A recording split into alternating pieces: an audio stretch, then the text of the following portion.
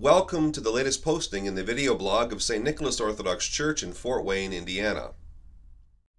Last week, we looked at the story of Cain and Abel, which takes up a better part of chapter 4 of the book of Genesis. Chapter 4 concludes with Cain becoming estranged from his family and wandering off to live in the land of Nod. And that's what the, the word Nod means, by the way. It means wandering. So he goes off to live in the land of Nod and uh, to establish a family there and his descendants there, who are also, as we look at the story, estranged from God. Uh, chapter four concludes with the uh, the account of Adam and Eve having another son, uh, Shem. Chapter five then is an outline of the of the genealogy of Adam from Shem and through Shem, leading all the way up to Noah. Now, here we figure probably we're on familiar ground. We know the story of Noah. Uh, but do we really know the story of Noah? Noah is a very important person in the Old Testament. If you look at Adam and Eve, our first parents, they get chapters 1, 2, and 3 uh, Uh, of the book of Genesis. Noah gets chapters 6, 7, 8, 9, and technically 10, because 10 talks about the genealogy of Noah. So he gets all this space, he gets five chapters, whereas Adam and Eve, our first parents, only get three. Now, what we know about Noah probably comes from some children's Bible stories book, a compilation of, of stories written for kids that was either read to us when we were children or that we read to children ourselves uh, we don't really perhaps know the story of Noah as we should.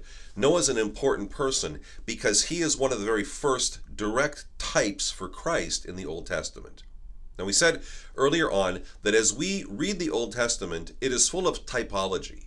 Typology are these, these markers or this foreshadowing of people and events in the Old Testament, specifically pointing to Christ and the church.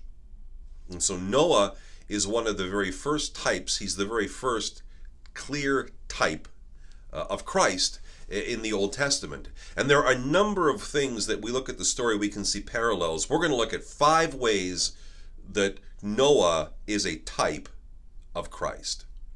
First of all, is his name. The name Noah means rest or comfort. Noah's father Lamech named his son Noah, saying, This one will comfort us concerning our work and the toil of our hands because of the ground which the Lord has cursed. So life has become much harder for the human race because of sin, and Noah will be the one to bring rest from this struggle. Similarly, in Matthew 11:28, Jesus says, "Come to me, all of you who labor and are heavy laden, and I will give you rest." And in Hebrews chapter 4, we read that there remains a rest for the people of God. Let us therefore be diligent to enter that rest. Christ brings the ultimate rest from the toils and struggles of sin through his death and resurrection. Next, both Noah and Jesus bring with them the hope of new life. Through Noah, the world has the hope of rebuilding after the flood. And through Christ, we have the hope of the new heaven and the new earth in God's kingdom. And in both cases, this hope is a hope for all creation. Genesis 8 1, we read that God remembered Noah and every living thing and all the animals that were with him in the ark. All of them are delivered from the flood. And similarly in Romans 8:21, the creation itself also will be delivered from the bondage of corruption into the glorious liberty of the children of God. So through our salvation, all of creation is saved. Next, we have the importance of water. In the case of Noah, through water, the world is cleansed of human sinfulness. In the case of Christ, through the water of baptism, we are healed from the infection of sin, from the consequence of sin, and from the tyranny of death. And finally, we have covenants. Through Noah, God establishes his first covenant with humanity. Genesis 9:11, God says, "I establish my covenant with you. Never again shall all flesh be cut off by the waters of the flood." Never again shall there be a flood to destroy the earth. And then through Christ, God establishes his final covenant with humanity. Hebrews 9:15 reads that Christ is the mediator of the new covenant by means of death, that those who are called may receive the promise of the eternal inheritance. So this new covenant is the covenant of Jesus' broken body and shed blood for the remission of our sins and for the life of the world and for its salvation. On my office wall, I have a plaque. From the very first landing on the moon, Neil Armstrong and his quote, That's one small step for man and one giant leap for mankind. As a kid, I just loved this the space travel and, and, and all that was around it and watched very uh, very intently the, the the coverage of the moonshots. And I bought books about about spacecrafts and travel. And one of the things that I learned in those books is the idea of trajectory. And trajectory was that if you want to get to the moon, you don't aim for the moon, but you aim for the position where the moon is going to be when your spacecraft gets that far. So uh, there's all these calculations that are done to, to figure all of that out. And this is the trajectory that the, the craft has to be on in order to get to its destination. Well, you see, the Bible also has a trajectory.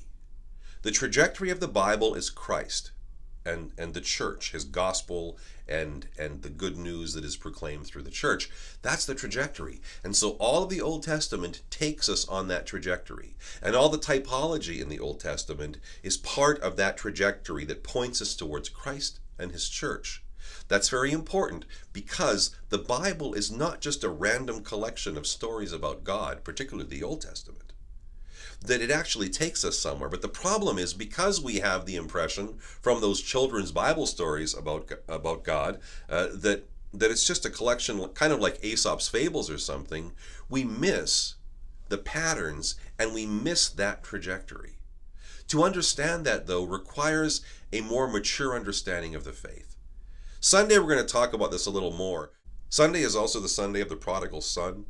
The story of the young man who squanders his father's inheritance on wild living and finally comes to himself after living in a pig pen in squalor.